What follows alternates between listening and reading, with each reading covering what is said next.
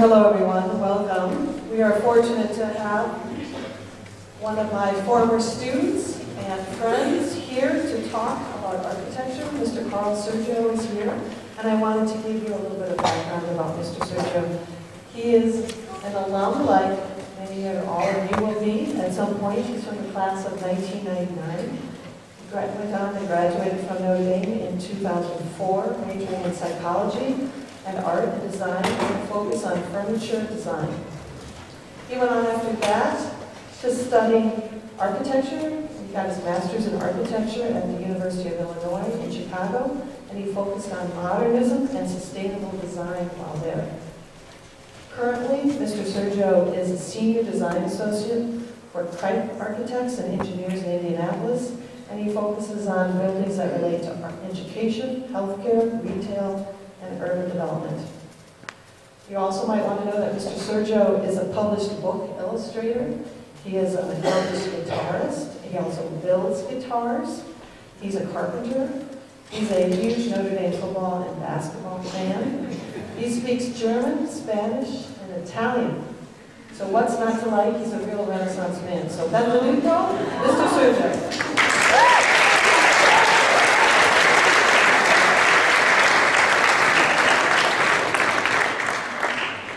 All right, well, I have to say that little speech makes me sound a lot more awesomer than I feel like I am, but those are all true things, so what do I say? Um, thank you all for having me. Uh, it's kind of interesting to be back here because you know I remember sitting out in the crowd and being a student, being excited that I got out of class early to come to a lecture instead of you know having to go to last period. Um, and I remember some of the lectures were really interesting and some were really boring. So I hope I'm going to be really interesting, or at least not really boring.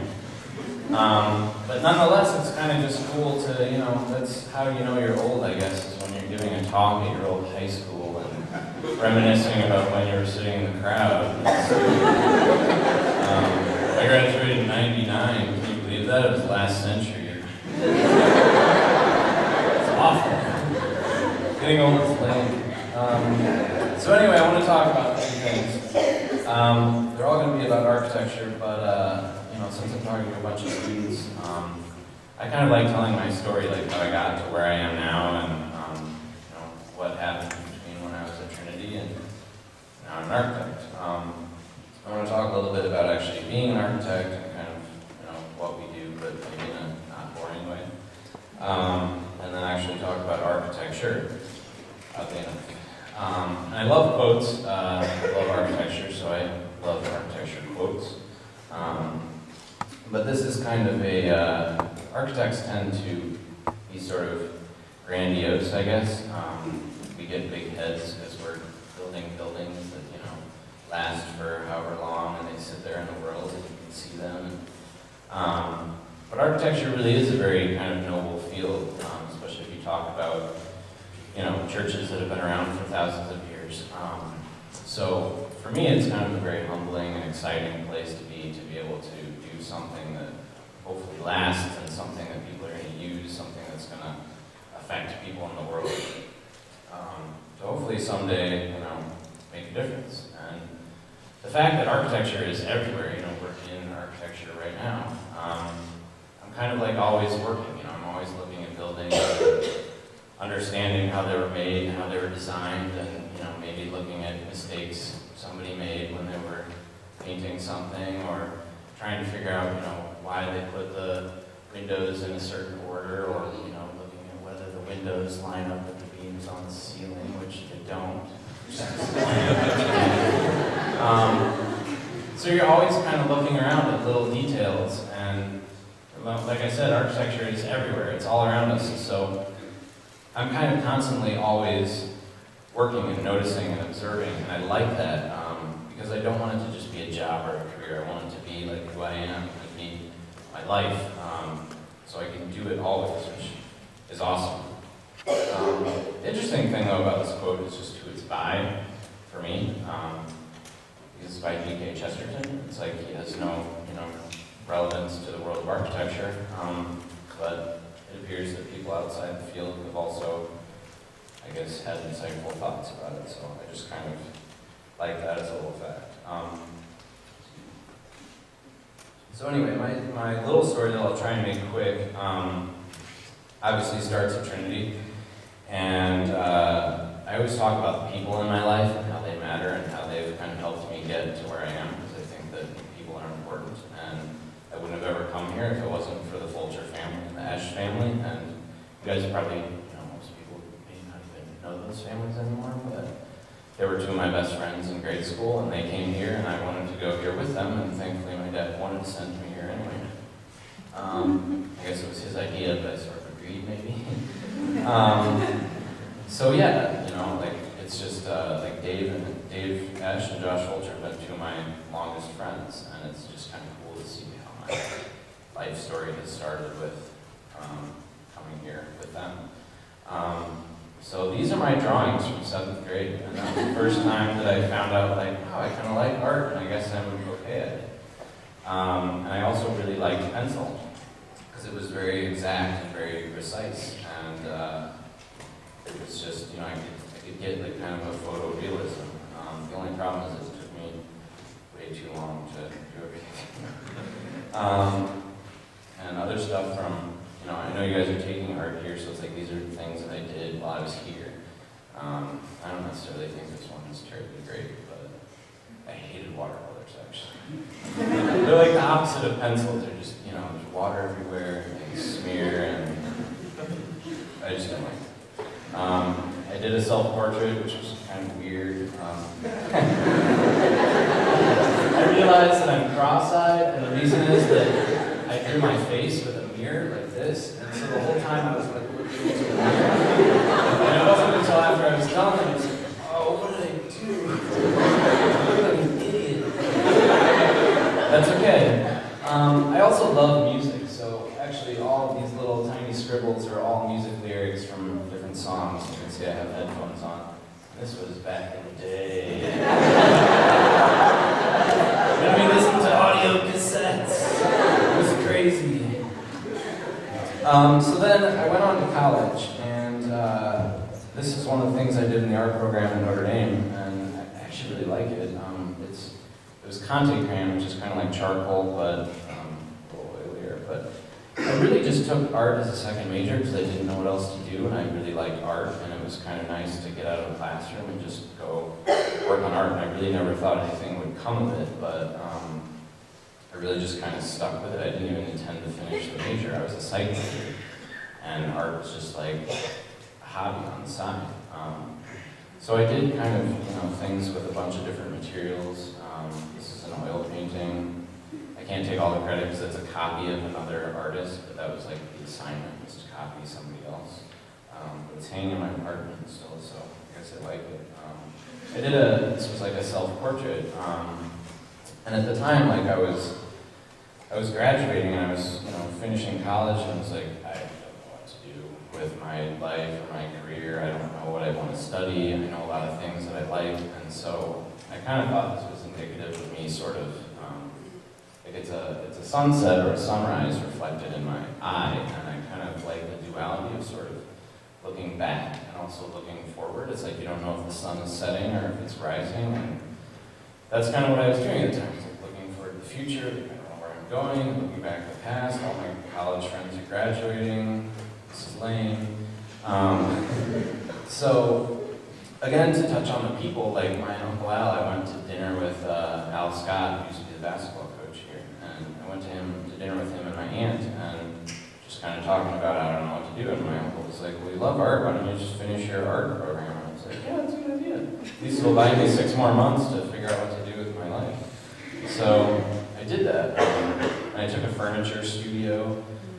And again, and I realized this is kind of weird looking, but it's a, it's a coffee table. And um, actually the significance here was that uh, I wanted to have all my friends sign piece of wood on the top. So there's, there's, it doesn't look like that many, but it's like over a hundred different signatures um, from all my college friends. I kind of had them all come over my dorm room at different times and they all signed it, and so I still have it, um, which is just kind of a cool memory. And uh, this is a good time to actually talk about um, I started realizing that, you know, I always kind of knew that I was creative, but I think that word gets misused. You know, people think like that you're artistic, because that, that's what it means, you know, you're creative.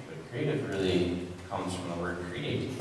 And I realized at some point that that was what I liked doing best, was actually creating something, like producing something. And I loved furniture design because it was an opportunity to actually make something that existed in the real world. And, you know, looking back, maybe I should have realized that architecture would be a good fit for me, but at the time I had no idea. Um, I took a perspective test at the beginning of my freshman year, and had like all these different, you know, areas of interest, and then there's this giant spike on architecture, and I was like, oh geez.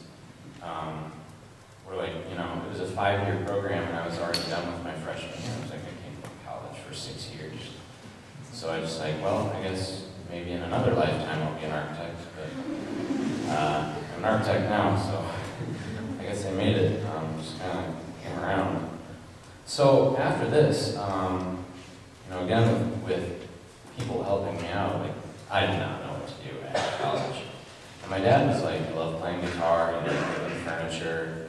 I found out you can go to guitar school and learn how to make guitars. And I was like, oh my gosh, that sounds amazing.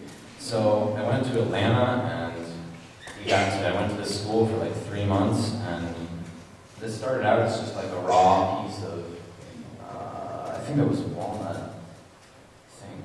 Um, yeah. And you'd start out with a raw, like a board, and you know, then you cut it out and you paint it. And um, this was right before I had to sand off all the paint because we did it wrong. really sad. Um, and then when you're done, you have a finished guitar, which was just amazing. And again, like it was about the process of creating, like taking, you know, making something from nothing, like just a raw piece of lumber that you get at Lowe's, and using a bunch of machines, and I mean, of course, a lot of metal too, which I guess is cheating.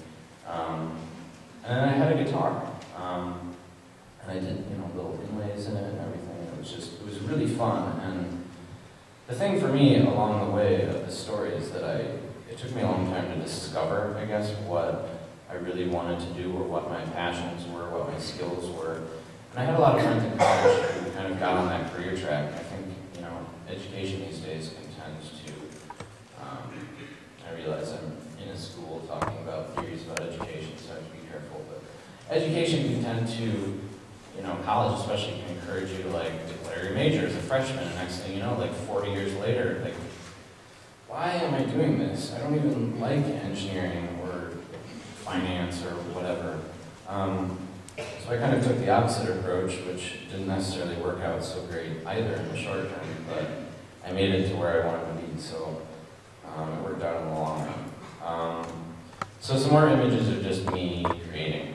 Um, my parents' pool needed repainting years ago, so I started thinking, well, why, you know, it's like this, it's a canvas basically, it's this giant white bottom, like why just white or blue again? Let's have some fun. You can see it from, you know, planes and stuff. So I started kind of sketching around a bunch of different ideas about what we could put on the bottom, and um, I liked some of these really swoopy, swirly designs, but um, unfortunately, we just kind of this was this was the first time, and it was just uh, sort of a you know basic like what I could get done in the bottom of the pool. But I stared at it for years, and just like I'm not satisfied with that. And finally, came around time to paint it again, and we got a little crazier. Maybe barely see that there's like a chalk outline that goes all the way down there.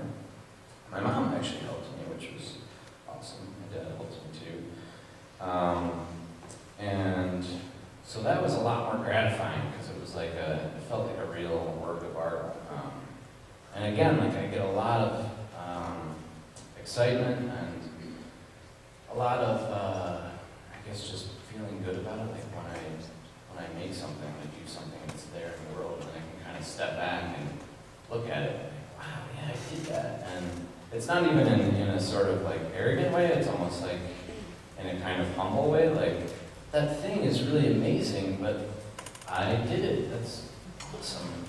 You know? And so I've never I've never felt pride in my work in a sense of of being arrogant about it. I've always been proud of things that I've done. In the sense, like, I can't believe, you know, that guess God gave me these skills to do these things, and I actually made it happen. Um, so, like, this swirl never happened, but the rest of it turned out pretty well. Unfortunately, um, it rained shortly thereafter. and, I mean, like, literally, as we're, you know, as we're finishing, these chairs are holding up a tarp that's trying to start protecting some of the other thing I painted. And I don't know if it was the rain or just the paint was old, but um, whole thing ended up peeling off that summer. So, you know, my dad would go swimming and come up with like a sheet of paint, lay it down on the sidewalk, and I was like, thank you, that's great, there's my art on the sidewalk. so, that made me want to just punch myself in the face. um, on, uh, Mrs. Seeley mentioned that I was, there's one more finished picture, um, before the paint started peeling. Um, she mentioned that I was a published illustrator. I, I illustrated Mr. Stowe's book years ago. He was nice enough to ask me to do it, and it was a really cool opportunity. And now you can like Google me, and I'm on Amazon, which again is just amazing and really cool. Um, it was a historical novel set in North Carolina. Um, so this was from an actual photo, and again, this is pencil. Like I, you know, I never touched watercolors again, but I, I used pencil all the time, and I drew a bunch of portraits for the book. Um, so again, you know, this was just a hobby, like a side thing I'm creating while I'm working at some other job that I hated.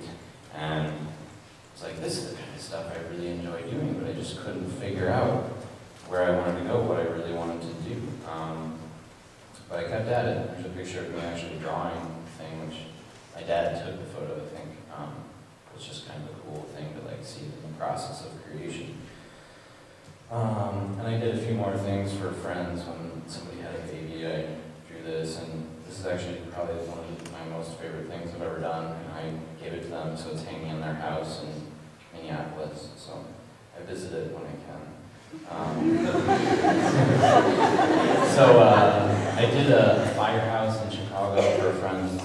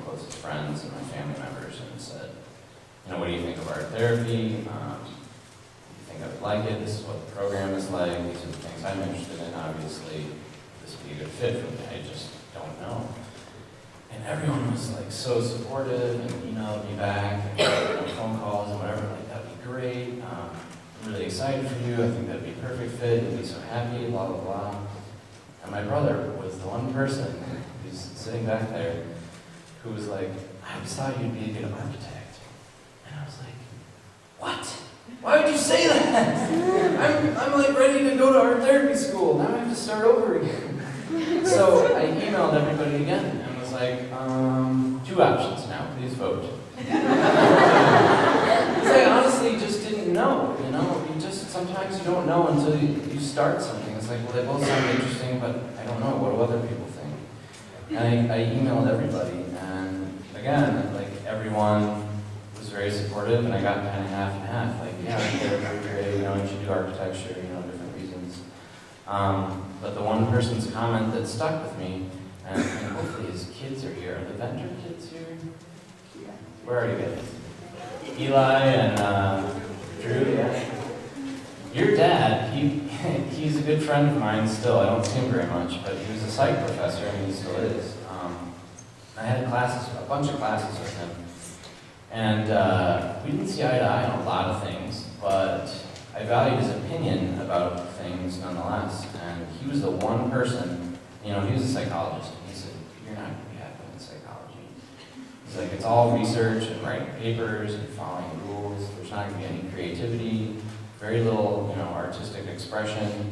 It's like, I think architecture is going to be right for you. And there's a lot of psychology in architecture, which, you know, I've come to realize. And it's just like, oh my gosh, you're right. And so that's what I did. I ahead and applied to architecture school, and I've never looked back since. Um, you know, I, I realized that I was in the right place when it was like 3 o'clock in the morning, finals week, and I'm, you know, trying to peel my contacts out, put glasses on, and drink more caffeine, and build a model, and um, and I was still really happy there, even though it was like, you know, miserable in the moment. It was like, I am glad I'm in architecture school. And that was an amazing feeling for me because when I was at Trinity, um, you know, I was good at math and science and I was interested in different things, and the same with college, but I never felt like I would find a field that really satisfied at least most of my skills and my interests. I mean, I really genuinely am just like, I'm never, like, there isn't a career out there that will, that will be who I am, that I will be happy with, like, this is me. And I found architecture one way or the other, you know, through the influence of my brother and Dr. Benter, and um, so it's been amazing and, and humbling and gratifying to be able to, you know, say stuff like that. Um, and there's my brother and I traveling in Paris, so that's the guy. um, so, on to talking about being an architect a little bit, and I'm already uh, to go faster, this was just something that somebody posted online. So I kind of looked online, I kind of looked online just as I was putting this together, like I wonder what people online say about being an. And, um, and these are all true, but I mean, none of these reasons are why I do it in particular. Um, I mean, there is an amazing opportunity to impact people's lives because you're building things that people use, and the choices that you make will influence how people use the buildings and how it impacts their lives. And you know, if you design an office space, like people could be miserable or they could be really happy. That can even influence their productivity and influence the finances of the business that works in the building. So you constantly think about that kind of stuff. Um, and so one thing I did when I, you know, when I went to school was like, I know that this is an important thing, and I, you know, I want it to be about something more than just doing buildings. Um, and I also wanted to make sure that that I started off the way I wanted to finish. That you know, on day one of grad school, it was like, okay, you know, I chose to be here. I took out like a million dollars of student loans, and now I'm here, so I'm going to do it right. And um, and that's been important to me every day since. Every little choice that I make, um, personally and professionally, I try to understand the impact of it on my future and on my life. So this is just, uh, you know, a few other things I found online about about the real truths about being an architect. This one, this one is true. that is true. But that's true for any field these days. Also true. Um, but the interesting thing about this one is that, you know, a lot of people in architecture complain like I don't have a life, working all the time. I, I don't have a life because my life is architecture. Um, I'm constantly involved in, in other extracurricular things outside of work. Um, in Indianapolis now, in Chicago, where I was for eight years. Um, I still try and stay involved in Chicago, even though I'm not there.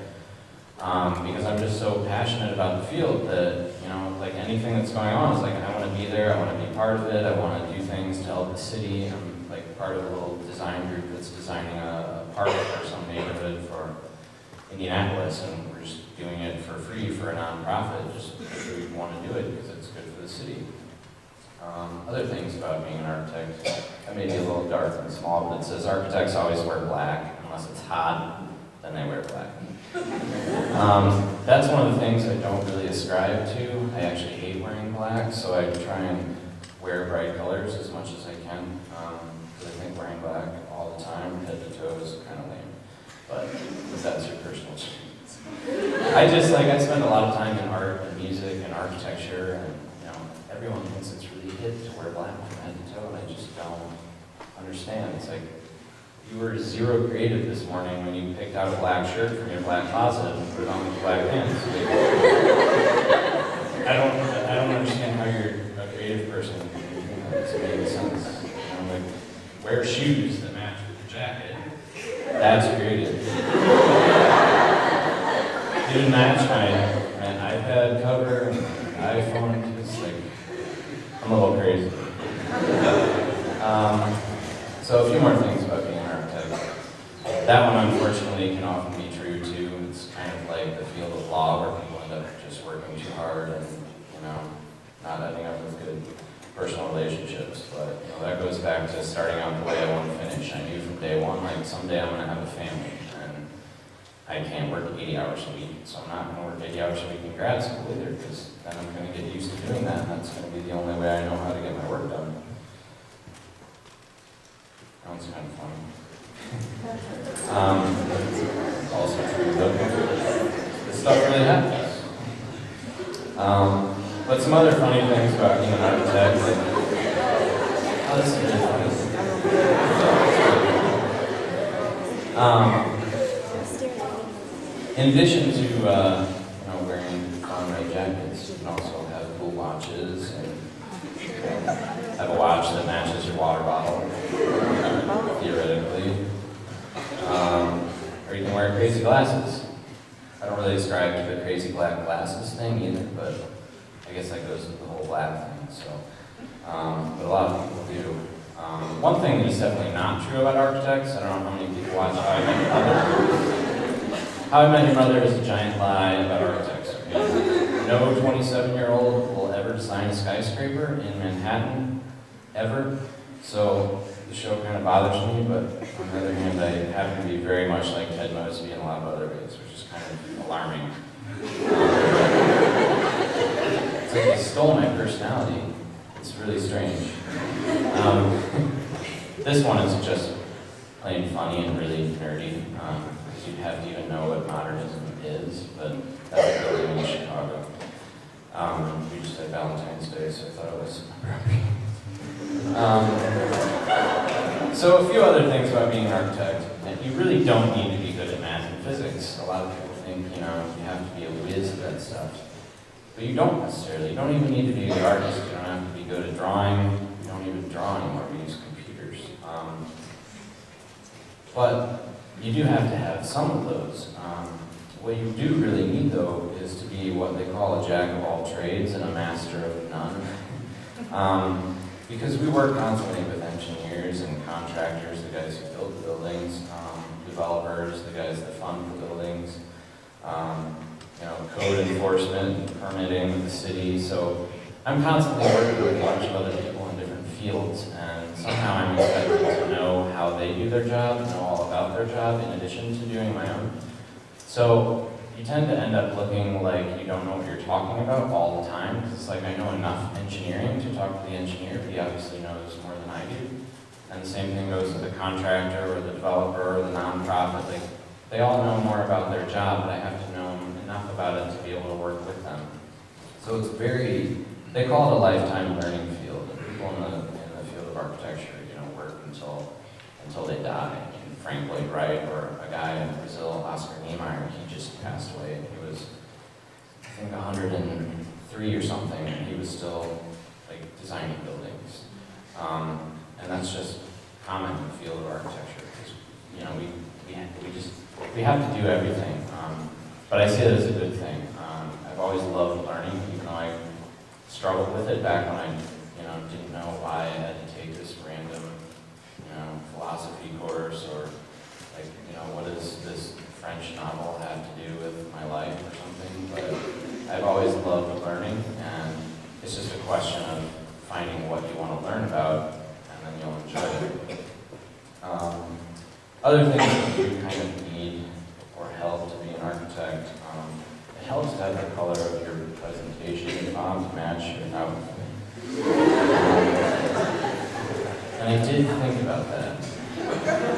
Um, but see, the thing about being an architect is that you're constantly thinking about the decisions you're making out in the world um, and how they affect every other decision. So if I was designing, you know, this building and I decided I wanted bigger windows, well then suddenly there's less wall and the wall holds up the ceiling and then I need to figure out a different way to hold up the ceiling.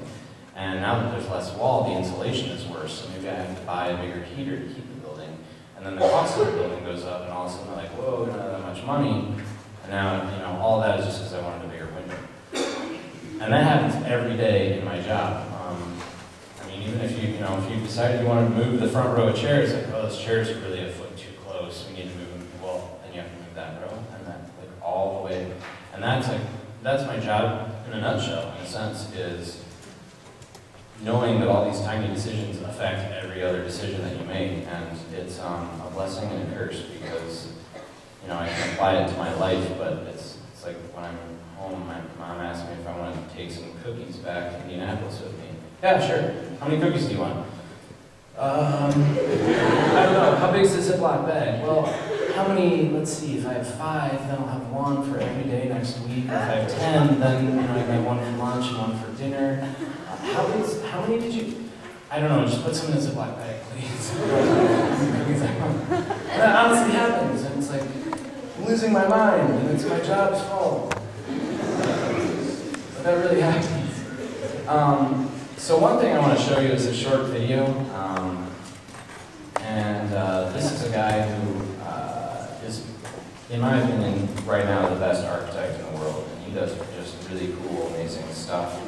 Um, and it's just a really short clip about some design work that he has done. Uh, and it's him presenting, and I realize that he sounds like Arnold Schwarzenegger. A very little way of showing it is a project we did for a library in a hotel in Copenhagen. Uh, the design process was like really tough, almost like a survival. But sort of gradually an idea evolved, this sort of idea of a rational tower that melts together with the surrounding city, sort of expanding the public space onto what we refer to as a Scandinavian version of the Spanish steps in Rome, but sort of public on the outside as well as on the inside with the library. So um, the second story that I, that I like to tell is um, actually starts uh, in my own house. This is my apartment. This is the view from my apartment over this sort of landscape of triangular balconies that uh, our client called the Leonardo DiCaprio balcony. Um, and uh, they form this sort of a vertical backyard where on a nice summer day you actually get introduced to all your neighbors in a vertical radius of 10 meters. The house is a distortion of a square block, trying to uh, zigzag it to make sure that all the apartments look at the straight views instead of into each other. Until recently, this was the view from my apartment onto this place where our client actually bought the neighbor site, and he said that he was going to do an apartment block next to a parking structure. And we thought, like, rather than doing like a traditional stack of apartments looking straight into a big, boring block of cars, why don't we actually turn all the apartments into penthouses, put them on a podium of cars? And because Copenhagen is completely flat, if you want to have a nice south-facing slope with a view, you basically have to do it yourself. Um, then we sort of cut up the volume so we wouldn't block the view from my apartment. Um, and essentially the parking is sort of occupying the deep space underneath the apartments. And up in the sun, you have like a single layer of apartments that combine sort of all the splendors of a suburban lifestyle, like a, a house with a garden, with a, a sort of metropolitan view, and a sort of dense urban location. So this is our first architectural model. This is an aerial photo taken last summer. And essentially, the apartments cover the parking. They're accessed through this diagonal elevator. It's actually a standard product from Switzerland, in Switzerland they have a natural need for diagonal elevators. Um, and, uh, and the facade of the parking, we wanted to make the parking naturally ventilated, so we needed to perforate it. And we discovered that by controlling the size of the holes, we could actually turn the entire facade into a gigantic, naturally ventilated, rasterized image. And since we always refer to the project as the mountain, we commissioned this Japanese Himalaya photographer to give us this beautiful photo of Mount Everest, making the entire building a 3,000 square meter artwork.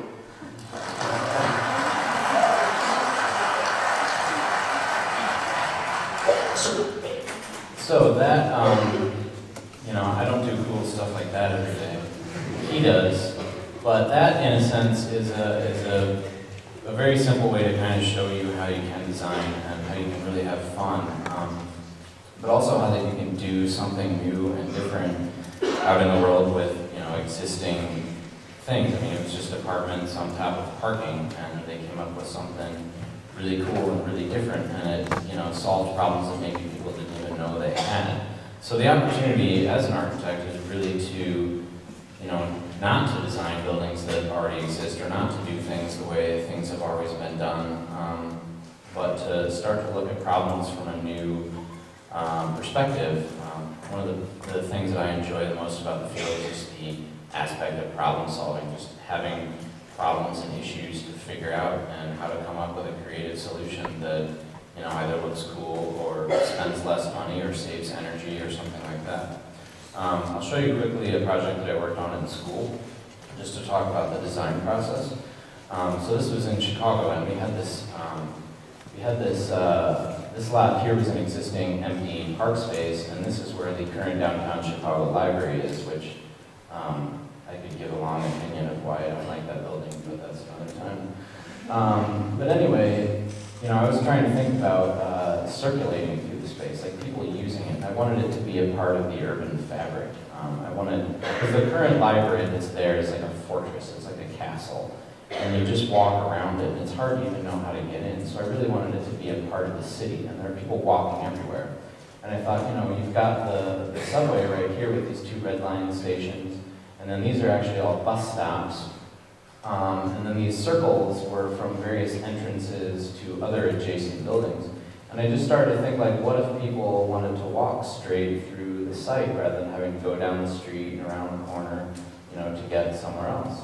And I, I just sort of used that as a literal way of designing the building, and I cut a model out of insulation foam um, as a way of trying to look, you know, if I cut these paths through a three-dimensional object, what kind of volumes would they start to create, and how can these volumes actually eventually turn into buildings?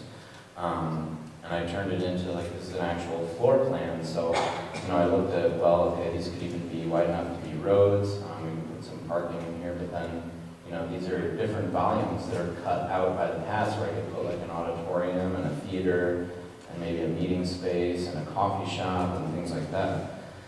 Um, and then turning it into like an actual 3D model, just because I needed more space for the actual library, I thought, well, I could put the library over the top, and these paths start to, you know, actually carve into the top volume where you can get light coming down.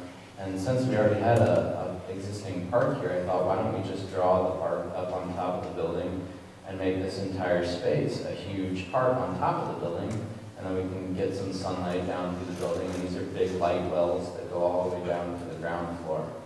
Um, and this was just a, you know, one semester at studio project that I worked on. Um, that was just kind of the design process that I went through, but it was just really fun to sort of look at the problems there and decide what to do with them. Um, unfortunately, after I got out of school, uh, that was me. So, um, however, I did get a job, and one other design project that we'll talk about, um, we met with the school again, um, as in, you know, as a process of talking about education, um, and they wanted us to design like a whole site plan for this giant area, you know, this is like a full-size stadium track, that's a water tower, so you can see like the size of this of land. And all they had were these two existing buildings.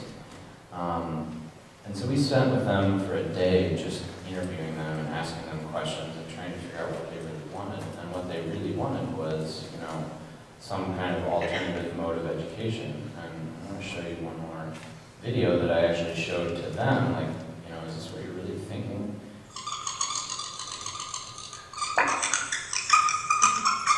Country on earth at the moment is reforming public education. There are two reasons for it.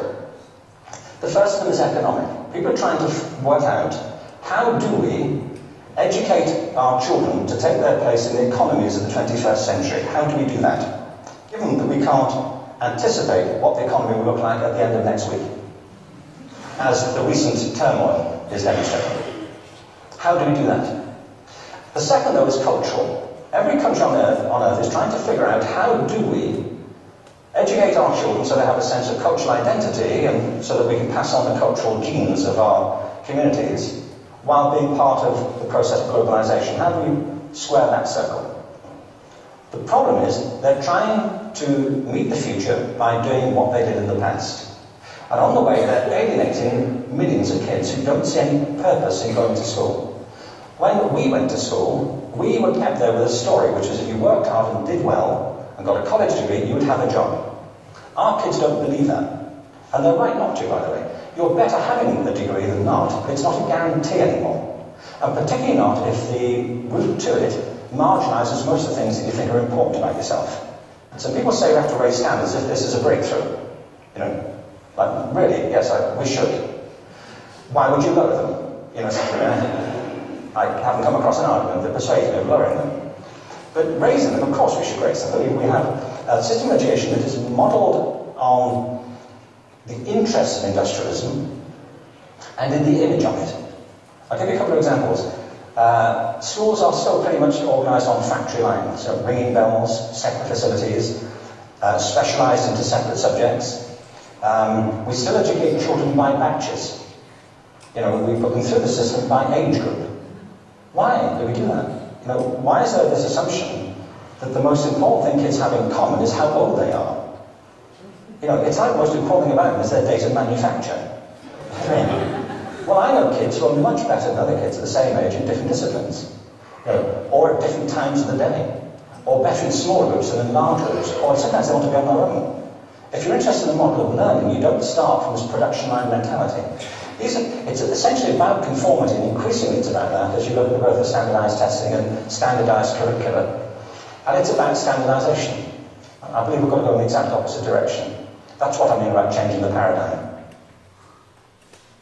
So, at this point, I suppose I should emphasize that I'm not saying anything about the education here, because I actually tell everybody that I had a fantastic high school education, and I wouldn't be where I was today without it. Um, so that's not the intention at all. Um, but the point was to talk about if we're designing a school, or if we're designing any building, anything at all, from the ground up, from nothing, the possibilities are infinite. You know, what do you really want? What does it really want to be like? So rather than just assuming that you do things the way they're always done, um, we watched this video and kind of talked about, well, what possibilities are there out there to do things the way they haven't been done, and how could those lead to maybe a model of education that you guys really want that would, help out your mission. Um, unfortunately, after a whole morning of like four hours of design, I mean, we ended up with this, and I don't want to blame my coworkers, but they were just people that have been architects for a lot longer, and this, you know, kind of looks like a college campus with like maybe a little main circle here and,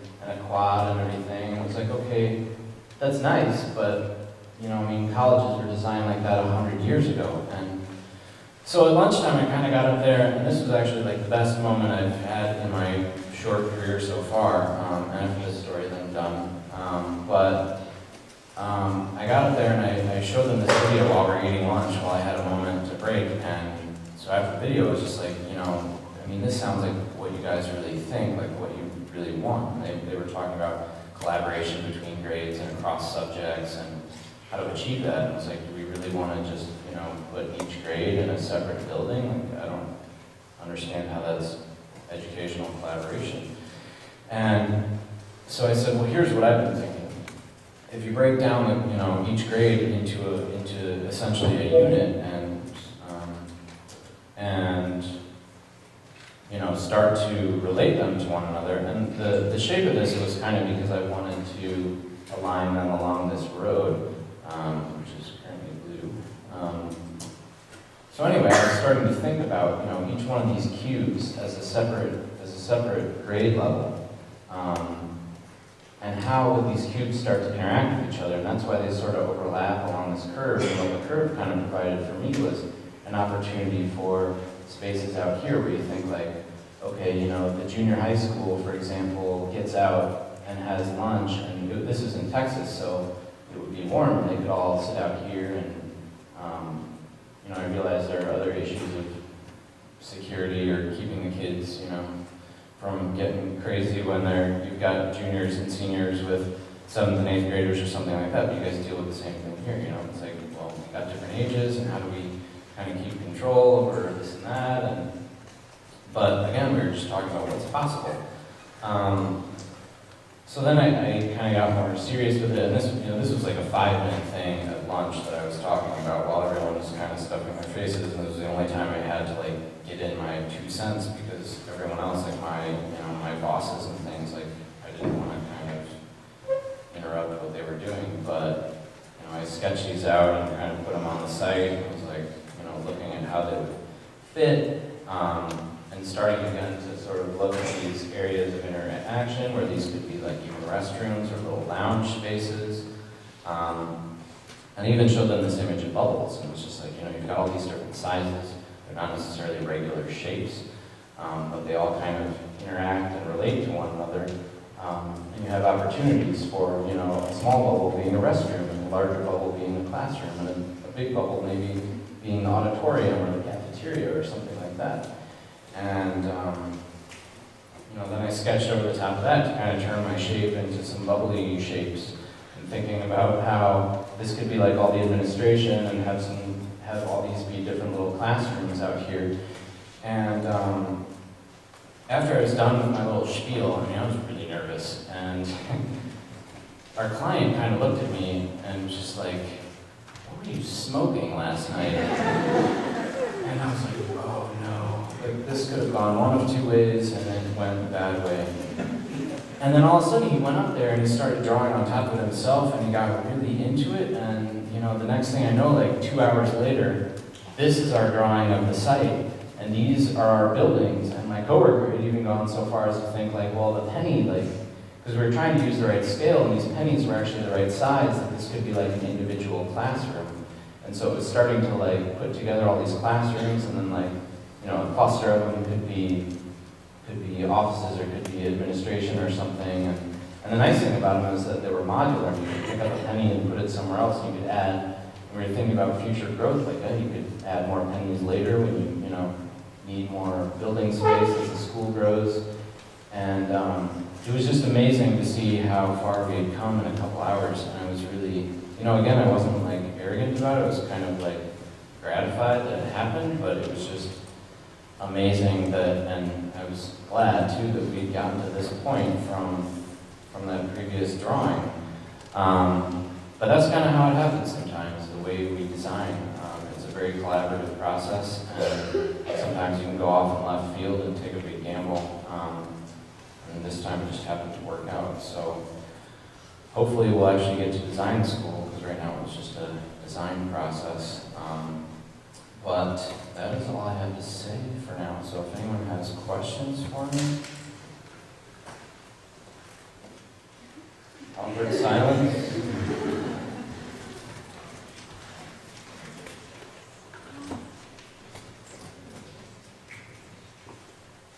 So what are you working on right now? Um, right now, I do something which is very interesting and yet very boring at the same time. Um, I, my biggest client is Trader Joe's grocery store, and uh, many of you, you know, I don't know if you've heard of them or not. Um, they talk about them coming to South Bend, which I can't comment on. Um, but they're kind of like a smaller uh, competitor of Whole Foods, and that's almost all I do these days. Um, and there's almost no design work involved, which is unfortunate because, you know, like I said, I like creating and designing. Um, but there's a lot of other project management skills and other things required of me that um, are great skills for the future to be an architect. And um, one thing I do love to do is travel and actually go see buildings. And the nice thing is once they start all under construction, um, in Minnesota, in Missouri, 10 of them in Florida, um, the second half of this year I'll to just go travel and I get to actually go see the buildings, which is a really amazing experience, even if it's a boring grocery store, is to actually walk into a building, you know, like four times the size of this, and realize that I drew every single little detail in the building on my computer, printed it out on paper, and now it exists, like it's there, you know? And that's one of the best things about my job is, is actually being able to create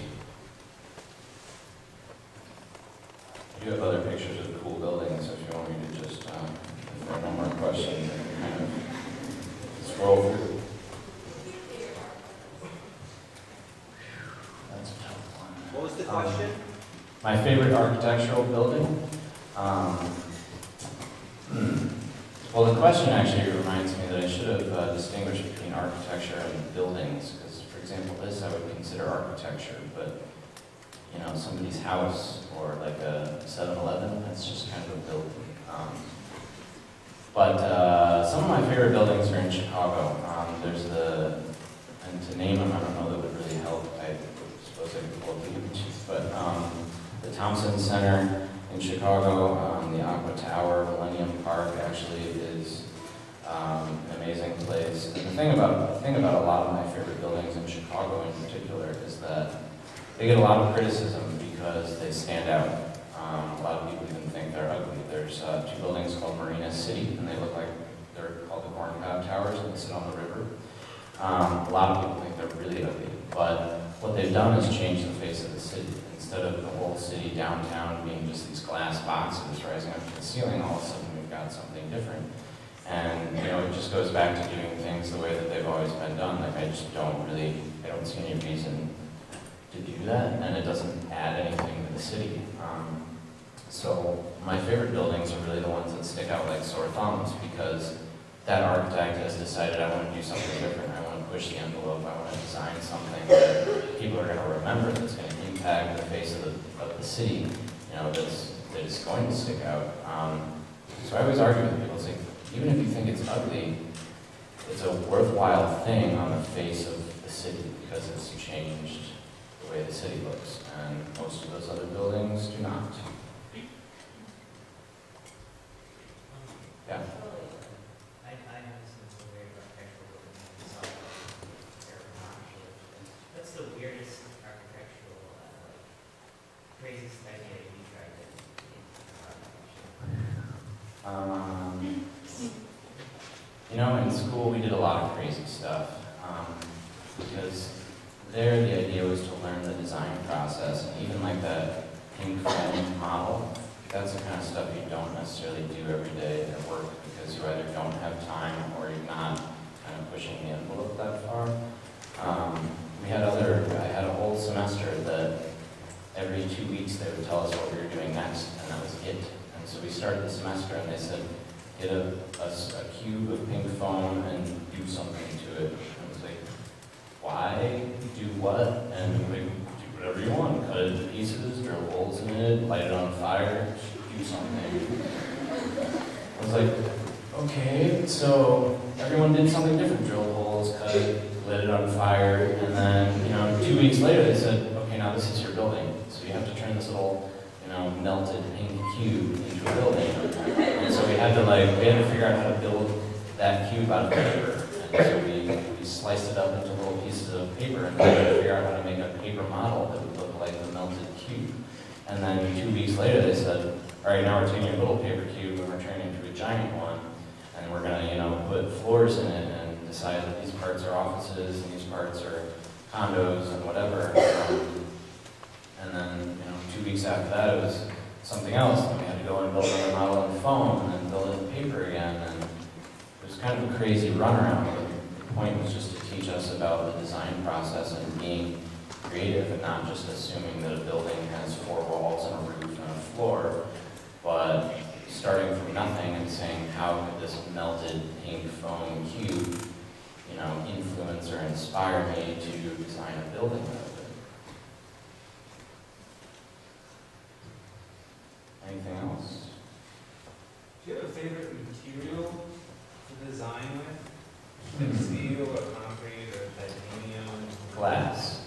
Glass is unbelievable. Um, I'm kind of obsessed with modernism, and for you art history students, I will say that one thing you could take away and sound a lot smarter is if you realize that something being modern does not mean it's brand new. Modernism is actually a period of time, you know, a period of art and a period of architecture. Um, the period of architecture was all steel and glass, lots of glass. Back then it was very thin, single sheets of glass, so the heating and cooling of those buildings was, was awful, but now you can get double pane, triple pane, coated glass that insulates really well. And glass is unbelievable because it lets through light. Glass can be, you know, a million different colors. Um, glass can either let views through or it can hold views back. Um, it can let through, you know, the heat of the sun.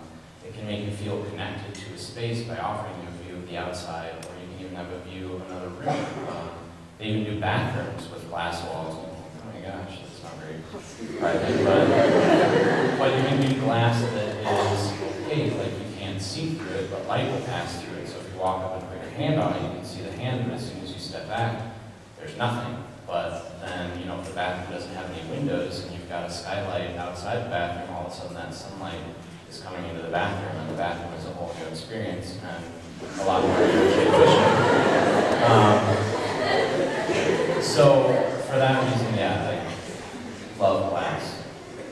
It's expensive though.